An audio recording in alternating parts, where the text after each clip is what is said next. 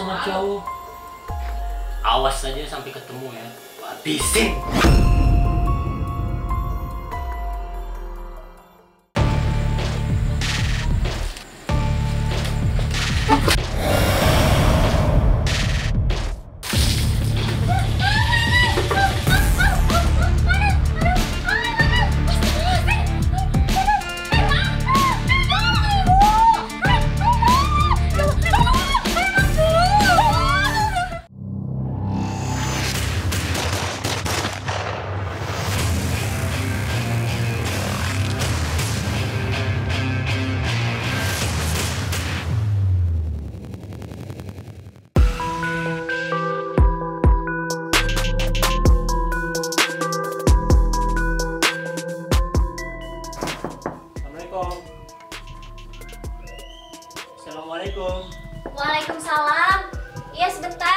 Teguh berkunjung ke rumah Emma Mariani di Desa Betung Barat, Kecamatan Abab, Kabupaten Panukal Abab, Lamatang Ilir, Sumatera Selatan. Ya, Sejoli baru saja resmi berpacaran, namun diam-diam. Emma tahu ibunya tak bakal mengizinkan karena ia masih sekolah. Itu warung kenapa tutup? Iya bang. Soalnya kan ibu lagi di luar. Aku kan di rumah sendiri. Jadi udah tutup aja. Oh. Emma, Nah, Emma, itu ibu pulang.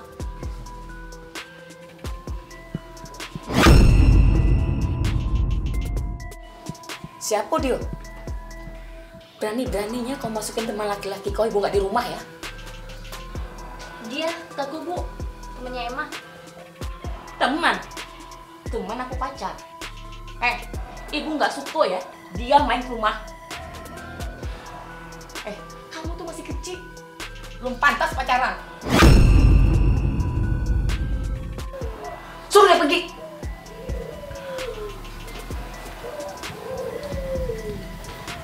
Bang, abang pulang aja deh dulu. Nanti Emma hubungi lagi. ya udah aku pamit ya. Di Betung apa, Pak? Ya lagi main-main, Pak. Di kan dia dulu kan, Pak, sekolah, Pak. Saya sempat juga saya sekolah di tempat sekolahan dia, Pak. Itu kan dia yang dia nyalamin, Pak, sama temennya untuk salamin ke saya, Pak. Ya kan saya sering mampir juga, Pak, di depan rumah sekolah juga. Ya biasa, Pak, yang namanya anak muda, anak muda, Pak, mejeng, Pak. Mejeng. Iya, Pak. Memang memang kamu nyari cewek gitu. Iya, Pak. Masih panas loh kopinya. Ya Farman sering ke sini nggak? Sering lah, malah tambah banyak dia hutangnya. Berkenalan bermula dari salam tempel Emma kepada Teguh. Titip lewat Rizka, temannya. Eh, Riz. Ada apa Riz? Sini duduk, minum dulu. Gak usah, aku ke sini cuma mau nyampein salam aja kok. Salam, salam dari siapa? Tuh, itu tuh. Si Emma, katanya dia nitip salam buat kamu. Udah, kok balik dulu ya. Aku pasti yang tunggu dia. Ya, dia.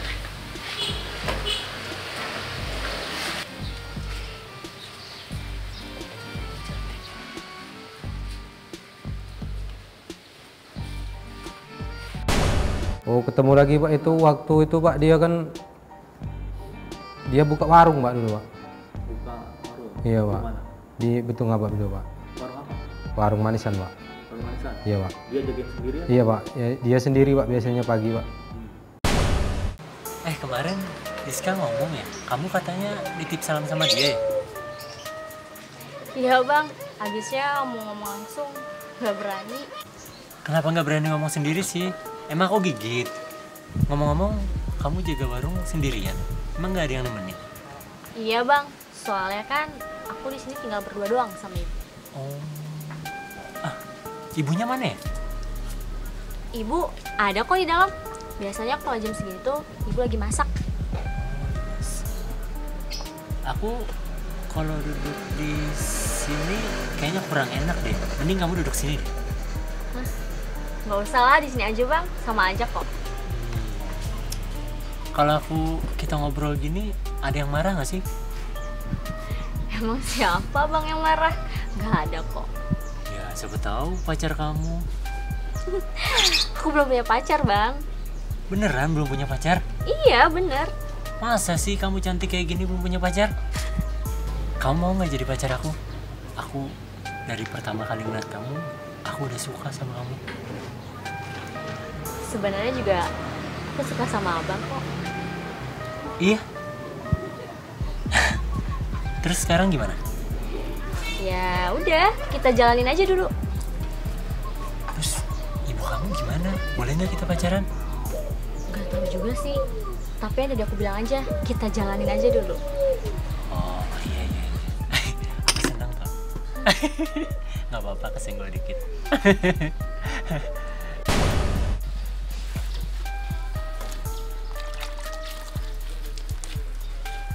Nah, gitu dong cuci mobil.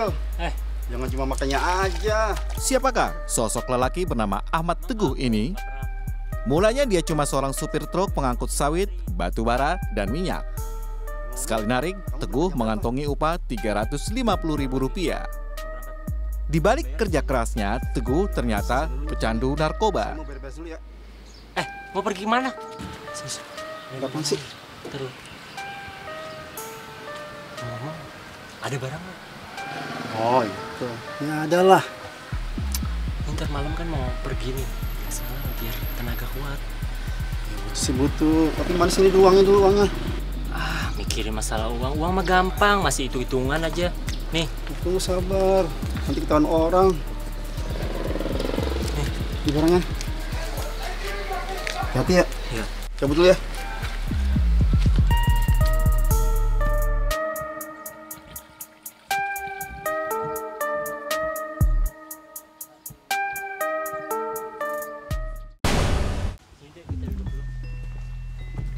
Teguh rupanya sungguh-sungguh. Tahu tak dapat restu dari ibu pacarnya, Teguh ajak Emma kawin lari. Kamu tahu sendiri kan, ibu kamu, orang tua kamu nggak setuju sama hubungan kita pacaran. Tapi aku pengen niatan buat nikahin kamu. Aku pengen serius sama kamu. Aku nggak tahu. Aku masih bingung, Bang.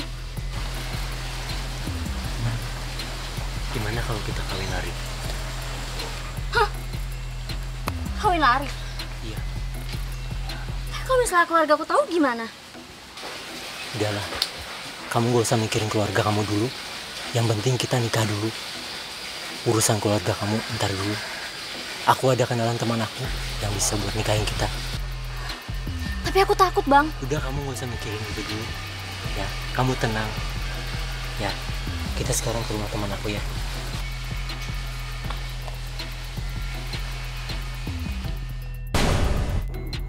Kan suka kalau nggak main-main suka pak. Ya pada pas itu kan yang namanya anak remaja pak pas lebaran kan pak. Kan lebaran saya bawa mobil pak waktu itu kan. Bawa mobil kan dia ikut sama saya kan pak. Ikut sama saya kan pas itu pak kami kalau dalam bahasa daerah kami pak belarian pak itu pak. Pelarian, Iya pak. Belarian itu pak istilahnya tuh dalam bahasa Indonesia tuh merit pak. Nikah. Iya pak, mau mau me- merencanakan rese- resepsi pernikahan itu pak. Tapi kamu bawa kabur gitu. Enggak pak, Maksudnya? saya bawa ke ini pak, rumah kadus pak. Itu penentuan ini pak, penentuan apanya? Penentuan harinya pak, penentuan harinya dengan apanya itu nih pintaan pak. Ya, kamu bilangnya apa ke Kadus? Kamu udah kenal sebelumnya sama Kadus? Saya kenal pak, Bilang apa? Siapa nama Kadus? kadus As, Asri pak. Bilang apa kamu? Katanya kak, aku kan bawa cewek juga kan, nah itu kan tolong diperbal kami kan. Dinikahi Teguh secara siri, Emma meninggalkan ibunya tanpa pamit. Namun rumah tangga pasangan muda Teguh dan Emma kerap diguncang prahara. Perkara Teguh dengan narkoba salah satu pemantiknya. Motor kenapa kamu jual? Kamu kan tahu, itu kendaraan kita satu-satunya. Motor tuh penting banget bang buat kita. Kalau nggak ada motor, kita mau pakai apaan bang? Alah, kamu nih tau apa sih? Ngapain sih ngurusin suami segala? Aku yakin, uangnya pasti buat kamu bayar hutang kan? Narkoba kamu itu. Hei, dengar ya. Aku ini pusing tau. Udah kerjaan nggak pernah berhasil, buka usaha nggak pernah berhasil. Kamu itu maunya apa sih? Bang, aku ini istri kamu. Jadi aku wajar dong nanya kerjaan kamu.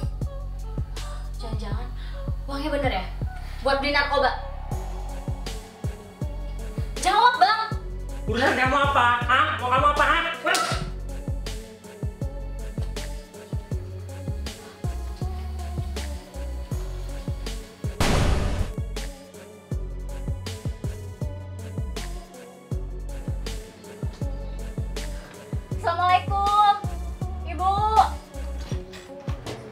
Kepada ibundanya, akhirnya Emma kembali.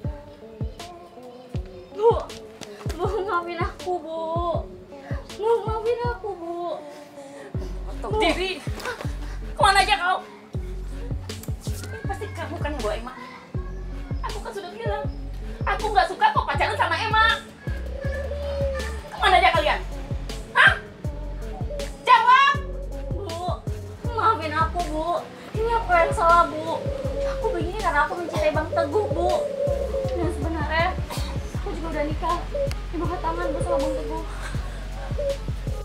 Kalian sudah menikah? Kurang ajar kau, bikin malu keluarga. Ini pasti dia keladinya kau.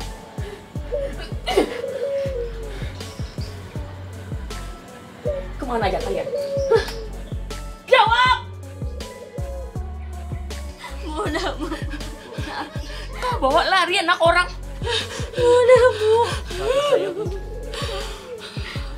saya salah bu saya akan bertanggung jawab atas semuanya ini bu Baiklah kalau gitu. Untuk mempertanggungjawabkan kelakuan kau, kau harus bawa keluarga kau ke sini. Pertama orang tua kamu. Kalian menikah harus secara adat.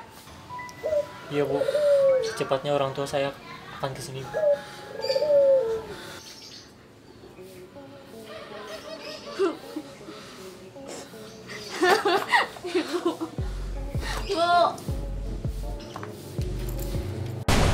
Acara nikahnya pak di di masjid pak kami dulu pak. Masjid. Iya pak. Siapa aja yang datang? Ay banyak pak. Banyak. Iya, Orang Pak. tua dia datang nggak? Datang juga pak. Datang. Datang pak. Orang tua saya datang pak. Itu karena kamu udah bawa kabur kali makanya orang tuanya setuju jadinya. Atau gimana? Ya kan? Iya pak. Hah? Ya kan? Iya pak. Nah, berarti kamu kawin lari sama dia. Iya pak.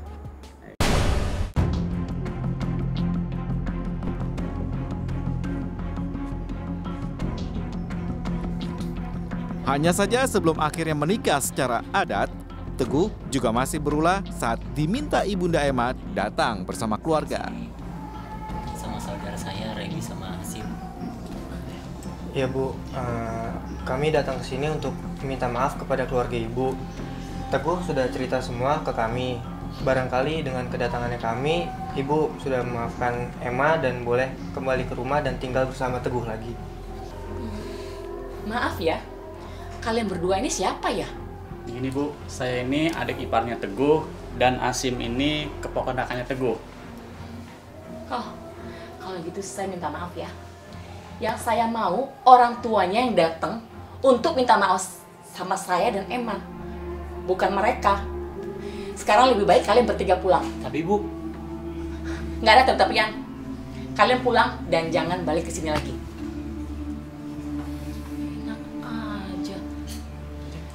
Maaf sama orang tua.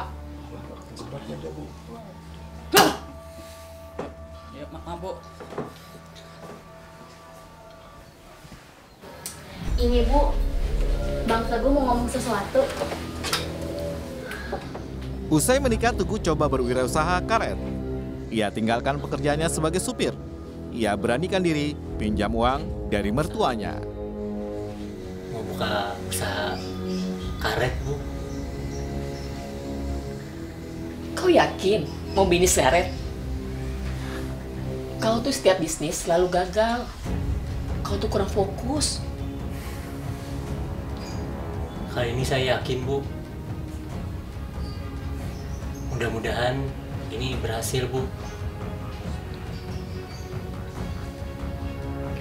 Ya udah, kalau gitu kau butuh modal berapa? 30 juta bu Ntar kalau udah berhasil, saya balikin bu. Kalau gitu, minggu depan ya dibuka si modalnya. Kau jangan hambur-hamburkan uang itu. Kau pergunakan sebaik-baiknya. Yo,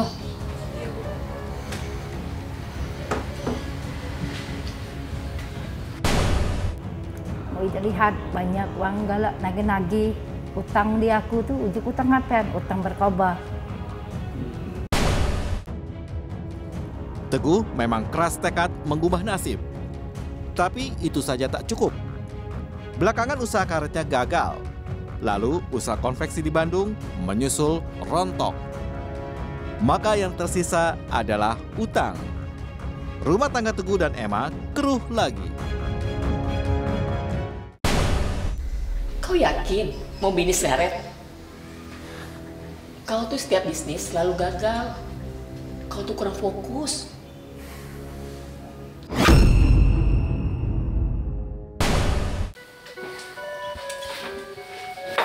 Dek, abang pulang. Udah pulang bang. Ini dek, eh, usaha abang yang di Bandung konveksi bangkrut. Nggak ngerti abang, kenapa setiap abang usaha pasti bangkrut? Ya udahlah bang. Mungkin emang udah jalannya. Kamu balik lagi ke sini. Mobil mana? Mobil udah aku jual. Uangnya buat bangun ruko. Mobil dijual. Terus hasilnya apa? Ya itu hasilnya, bangun ruko. Lagian kamu ngapain sih nanya sisanya? Sisanya udah aku bayarin utang kamu lah ke ibu. Aku ini suami kamu. Kenapa kalau apa-apa nggak pernah diomongin? Harusnya diomongin dong. Iya nggak bisa balikin pak. Mobil dijual. Iya, mobil kamu relain dijual. aja gitu. Anggap aja bayar utang. Iya kan. Gitu. Ya cuman kan dulu kan saya masih pertanyakan juga pak. Masa mobil saya kan dijual cuman dengan harga 32 juta pak. Biasanya dulu kan pasarannya pak, saya belinya dulu pak serat, 108 juta pak. Terus kamu berantem tuh? Enggak pak, enggak berantem pak. Pas di- saya jual kan, saya kalau digebung, saya gebung enggak pak. Cuman kan adalah pak cecok mulut pak. Apa? Ya berantem ini kan. Bilang apa kamu berantem? Kata saya kan ngap, ngapain mobil dijual harga. Jadi itu kan gimana duit yang selebihnya itu kan. Kata dia kan mau dia mau buat ruko pak katanya kan. Ya udah kalau mau buat ruko nggak apa-apa kata saya kan. Nah itu kan sempat buat ruko juga pak saya pak. Nah setelah buat ruko kan setelah itu kan saya kabur lagi pak saya ke Bandung lagi. Ya kan udah stres pak karena modal habis pak. Suami. Kamu aja nggak pernah nafkain aku selama di Bandung. Apa itu? Pantes disebut suami. Mana tanggung jawab kamu? Kamu tuh istri emang kurang ajar ya.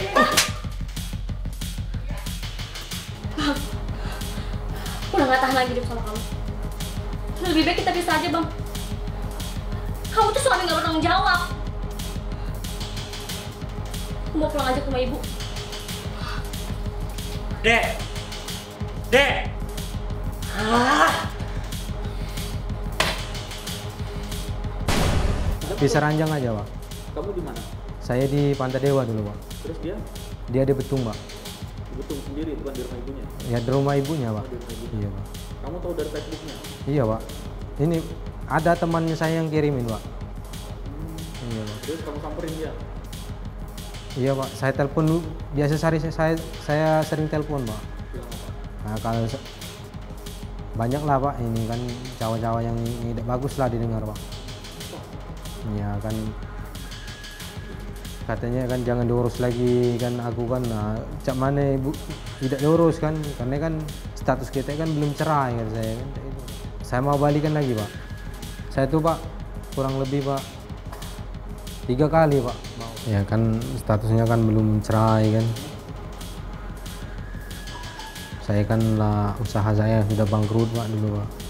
Jadi situlah pak pikiran saya pak. Pikiran nggak nggak keruan tuh pak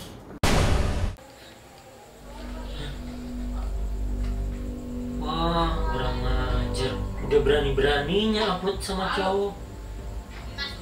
Pantesan diajak balikan gak mau. Akhirnya inilah puncak krisis rumah tangga Teguh dan Emma. Teguh mengintip Facebook Emma.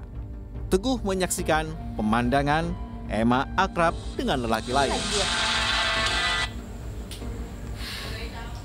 Halo dek, Halo? itu apa-apaan kamu foto upload sama cowok di FB maksudnya apa? Kamu lupa aku suami resmi kamu? Hah? Bang, asal kamu tahu ya, aku ini bukan istri kamu lagi. Jadi nggak usah kamu ngurusin aku lagi. Maksudnya gimana? Aku nggak ngurusin kamu. Kamu itu masih istri sah aku aku. Ingat itu. Kita itu belum cerai. Coba jelasin siapa sebenarnya cowok itu. Terus, kamu mau tahu banget? Apa mau tahu aja? Halo. Awas saja sampai ketemu ya. Habisin.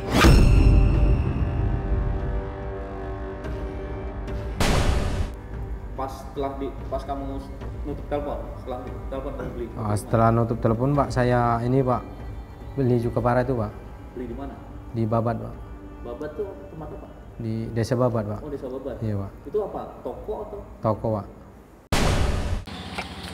Bang. Ada apa? Ada. Bentar ya. Satu ya, Bang. Ini bang. Berapa? 16 ribu.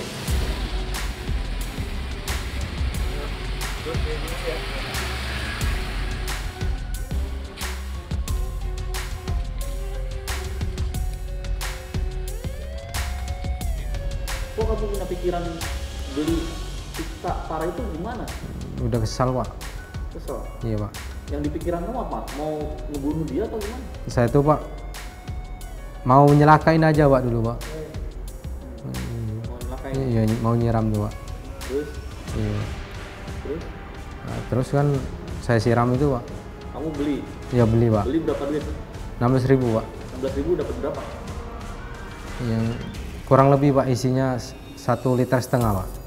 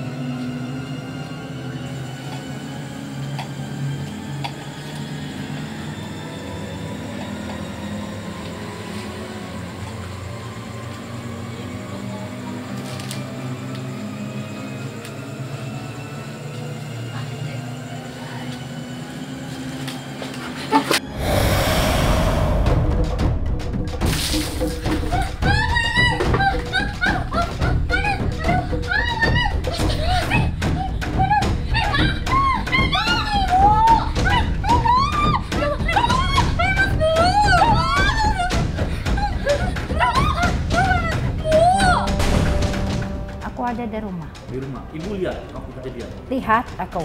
Gimana? Oleh Ceritanya gimana, Bu? di ini- di depan pintu. Terus dia datang. Dia lah nunggu. Punya datang lagi lah nunggu. Terus Lah, pas aku tertelik leden si rame. Sebadan tuh basah gala loncong. ibu ada di situ. Ada tak di rumahku. Ibu sempat teriak nggak?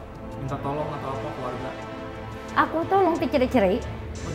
Oh. Ah, oh. Angan-angan ujinya. Terus dianya si teguhnya gimana? Lari, aku tertelik sekali liwat. Pakai ember, nyiram itu. Banyak orang nolong, apa para umat keluarga le. Ngantar puskesmas juga untuk berani aja itu netes di badan. Eh, kami melakukan olah TKP di situ memang ada bekas eh, eh, penyiraman terhadap si korban dan kemudian setelah kami bawa ke melakukan pemeriksaan terhadap korban di rumah sakit, korban itu tidak bisa diwawancarai. Sehingga kami menunggu sampai agak uh, siuman dan menyampaikan si korban ini bahwasanya yang melakukan adalah suaminya. Ya, jadi memang yang kami temukan pada saat di lokasi hanya ember uh, berwarna hijau itu digunakan sebagai sarana untuk menyiram si korban.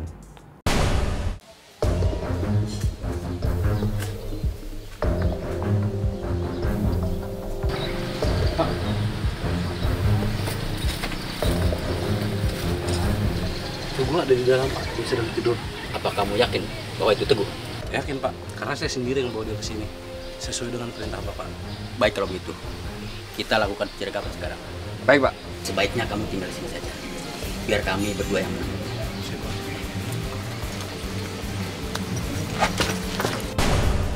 Waktu itu saya mencuru, menyuruh uh, informan saya untuk menarik Teguh ke Lubuk Linggau. Kebetulan waktu itu uh, si Teguh ini yakin sama teman saya ini tadi, Tapin, yakin ke Lubuk Linggau. Di situlah uh, ngontrak uh, di Bedeng, saat itulah yang informasi ini bilang ada di Lubuk Linggau. Waktu saya telepon Kapolres, uh, minta pendapat karena uh, tersangka Teguh penyiraman cukup parah ada di Lubuk Linggau. Kapolres memintakan anggota Busar untuk bergabung dengan Kanit Reskrim bersama anggota Reskrim Polsek Gunung Kalabak ke Lubuk Linggau.